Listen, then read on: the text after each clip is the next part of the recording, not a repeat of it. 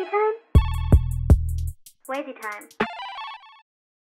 Hey Leute, es ist Wazy Time. Und herzlich willkommen zu einem neuen Video von uns. Heute. Haben wir was ganz Besonderes für euch. Heute, das ist die Frage, die haben sich alle schon immer gestellt. Welche Anime-Charaktere hassen uns eigentlich? Jetzt finden wir es heraus, was? Ja. Und werden erstmal dann richtig abheulen, bevor wir dann unser normales Leben weiterführen können. Ja, wenn wir herausfinden, dass irgendwie Levi uns hasst oder so. Also wir machen zwei Quizzes. Nämlich einmal das, welcher Attack on Titan Charakter hasst uns und dann noch ein, welcher Haikyuu Charakter hasst uns. Und ich sag nur so viel. Wenn wir herausfinden, welcher Haikyuu Charakter uns hasst, egal wer es sein wird, das wird uns sehr schwer treffen. Ja. Lass uns direkt loslegen. Würde ich Fangen wir an mit dem Attack on Titan Charakter. Welcher hasst dich Quiz? Das war kein Deutsch. Yes. Also die erste Jeder weiß, was hart. gemeint ist.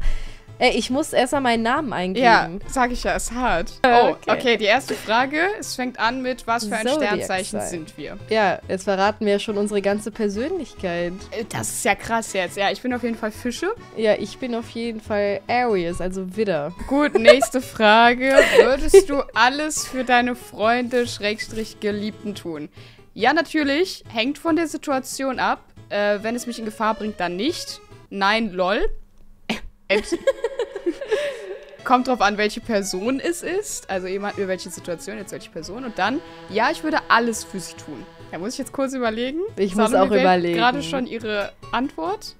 Nee, nee, ich muss auch überlegen. Also, Ja, ich will jetzt hier nicht ehrlich. auf heiligen Sag's nicht, Samariter sag's tun, nicht, ne? weißt du? Oder du kannst mir eigentlich sogar sagen, welche Antwort du wählst, oder? Ja, Glaubst ja, du, das, das wird wird, uns beeinflussen, wenn wir uns unsere Antworten sagen. das wird nur dazu führen, dass wir uns mehr selbst reflektieren. Also ich habe meine Antwort gewählt und meine Antwort ist, es hängt von der Person ab. Ja, das, ähm... Und da habe ich Salome schon beeinflusst. Nein, nein, nein, du hast ihre mich nicht Antwort nicht beeinflusst. hat. Ich hatte es tatsächlich auch. Ja, ich hatte tatsächlich auch die Idee, das zu Ja. nehmen. Also, entweder... Ja, ich würde auch sagen, es kommt auf die Person an, weil weil es jetzt irgend so ein Typ ist, mit dem ich keine Bindung habe, Es geht darum, Freunde und Geliebte. dann würde ich alles für sie tun. Du bist so... Ich will ja nicht auf guten Samariter. Nee, ich habe nochmal, also gut, dass du mich darauf hingewiesen hast, weil ich dachte jetzt jeder. Hängt bei mir trotzdem von der Person ab. Ist mir auch egal. Nächste Frage. Also ihr kennt bestimmt alle ganz sicher diese Szene bei Staffel 4 von Attack on Titan, wo Mikasa, Armin und Eren an diesem Tisch sitzen und Eren knallhart gesagt hat, dass er Mikasa hasst. Und darum Ja. geht's jetzt. Das war witzig. Jetzt ist die Frage, wen würde man äh, verteidigen bei dieser Table Scene, also dieser Szene? Und ja, was ist jetzt die Antwort? Das ist eine gute. Ich würde natürlich Mikasa verteidigen, meine Fresse.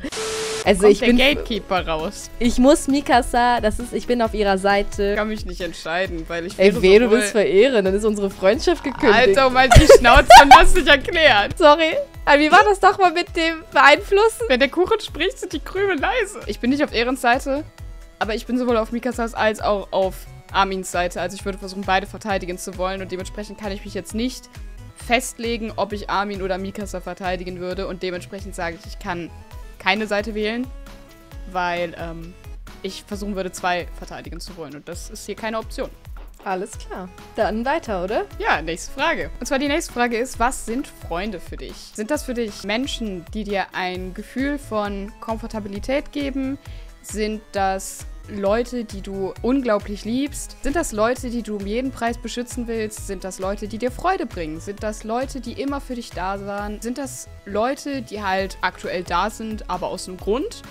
Oder sind das für dich nur Leute, die dir helfen, irgendwas zu erreichen? Kann ich tatsächlich nicht entscheiden, ob ich Sense of Comfort oder Who Bring You Joy nehmen würde. Ja, da war ich tatsächlich auch gerade.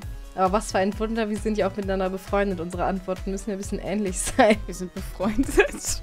Ach, ist das nur so ein Die Business-Ding? ist richtig irre. Auf den Kiki schon. Mein Herz ist jetzt schon gebrochen. Für mich sind Freunde Leute, die, ganz ehrlich, mich vielleicht nicht immer zum Lachen bringen, aber immer irgendwie ein wohliges Gefühl in mir auslösen. Ich glaube, ich würde das Gleiche nehmen. Man, wenn man sich wohlfühlt, Ohne ist man auch einfach man selbst. Und man kann man selbst sein. Ja. Und das ist das Wichtigste bei einer Freundschaft. Ich glaube, Levi wird uns hassen. Okay. Oh mein Gott, unsere Meinung zur Historia. Okay, das Uh. ist jetzt. Okay, also erstens, ich hasse sie. Oder, ja, ich mag sie nicht so sehr. Sie ist okay. Ich bin überrascht, dass sie noch lebt, wenn ich ehrlich bin. Ich habe nicht wirklich eine Meinung gegenüber ihr. Ähm, sie ist äh, verdammt cool. Ich liebe sie.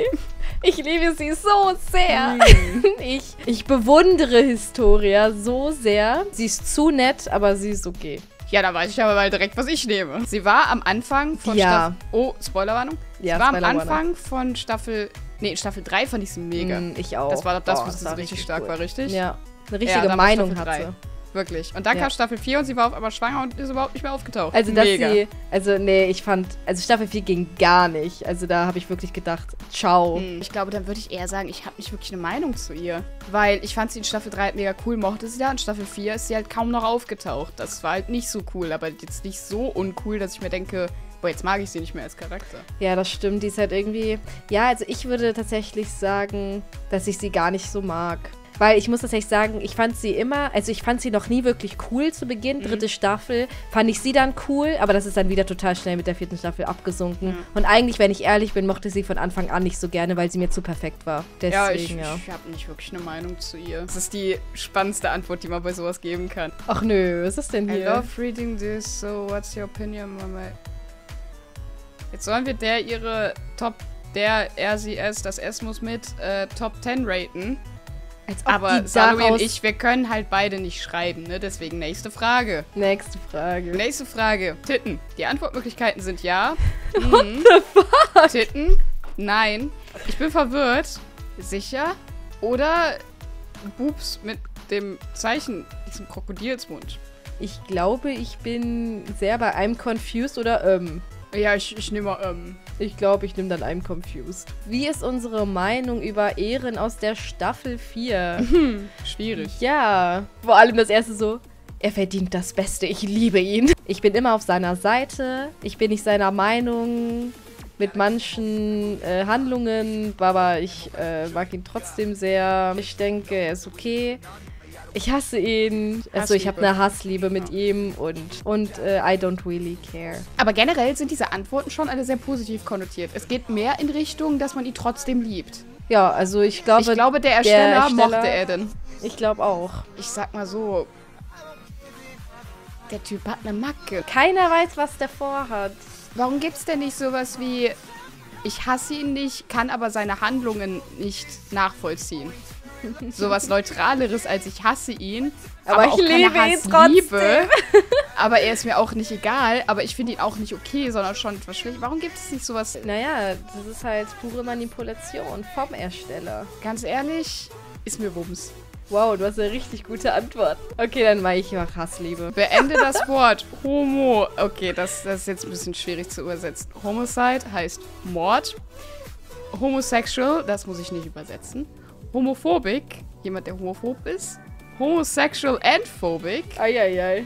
Homo all of the above, also alles, was bisher genannt wurde. Und einfach nichts. Ich nehme natürlich den Mord. Ich nehme den Homosexual. Sexual. Jetzt müssen wir schon hier was schreiben. Wir können doch nicht schreiben. Das ist echt nicht nett von dem Wir können ja doch beide einfach äh, auf die Tastatur hauen und gucken, was passiert. Oh, ich habe eine Idee. So, Batsch. Mega. 2, 4, 6. Nächste Okay, Frage. Antwort. nächste Jetzt kommt die Frage und Antwort. Das ist das Ergebnis. Oh mein Gott. Ja, okay, damit kann ich leben. Wer ist es bei dir? Anni Leonard. Oh, bei mir ist es Sascha. Oh, okay. Naja, Sascha- aber- Wie will sie mich hassen, wenn sie tot ist? Also Mikasa zum Glück nicht, aber Anni, äh, ja, pff, die kann mich ruhig hassen. Die ist mir eigentlich ziemlich egal. Ich würde einfach dann versuchen, mit Sascha das Essen zu teilen und dann, dann sind Dann- wir so. Okay, nächste Frage. Nächstes Quiz. Next Quiz. Jetzt stellen Salome und ich uns dem wohl härtesten Quiz für uns. Nämlich beantworten wir jetzt ein für alle Mal die Frage, welcher Haikyuu-Boy würde uns hassen? Okay, wähle eine Farbe aus. Rot, Orange, Gelb, Grün, Blau oder Lila. Das ist schon mal eine schwierige Frage. Ich mache es jetzt abhängig an meiner Haarfarbe, deswegen rot. Ich sag Blau. I love rot. I love Rot. Wähle ein Tier aus. Äh, Frosch, Hase, Maus, Schlange, Bär, Elch. Ich wähle den Hasen. Boah, Hase oder Elch? Ja, oder Bär. Ich nehm- Was für Ich nehme Elch? den Elch, Junge. Ja, gut. Weiter geht's. Weiter Wähle ein. Team aus. Karasuno, Seijo, Nekomashita, Torisawa oder Fukurodani. Karasuno. Natürlich Nekoman. Wähle eine Kunstform. Malen, äh, so Skulpturen machen, singen, schreiben, tanzen oder Musik spielen. Ich glaube, da würde ich Musik spielen nehmen, weil das ist das, was ich auch könnte. Ja, natürlich Singing, weil ich eine engelsgleiche Stimme habe. Oh, Nein, da würde ich ja. eher Drawing nehmen. Okay, ausgewählt. wähle ein Meme von 2019. Ich Oh. finde das oben links schon richtig gut. Ohne Witz, ich muss das oben links nehmen. Ich glaube, ich nehme den Spongebob. Ah, finde ich gut. Ja, wähle deinen Lieblings-Social-Media-Account. TikTok, Instagram, Twitter, Tumblr, Facebook, Snapchat. Natürlich Tumblr, jeden Tag Tumblr, ne? Trumbler? Wow. Äh, Trumbler? Tumblr, Tumblr. Ach, Sorry, aber kennst du Donald Trump? Ja, oh, Instagram, Instagram. oder Twitter? Ich glaube, ich würde Twitter nehmen. ich nehme Instagram. Weiter? Lieblingschip, Alter. Als ob Okay. ich Haikyuu-Charaktere shippe. Ich ship die alle mit mir. Kurozuki-Fan, wirklich. Also richtig Nein, das ist sogar ja. eine Auswahlmöglichkeit. Bei mir ist das natürlich völlig Nee, egal. ich Ship, kacke wen ja ihr mein wollt. Hinatzer. Ne? Also, es ist schwierig jetzt. Ich muss überlegen. Oh, ich mal suchen. Oh nein, ich habe die Antwort. Oh nein. Was hab ich? Okay, oh, das ist aber schade. Was hast du? Ich habe Bokuto.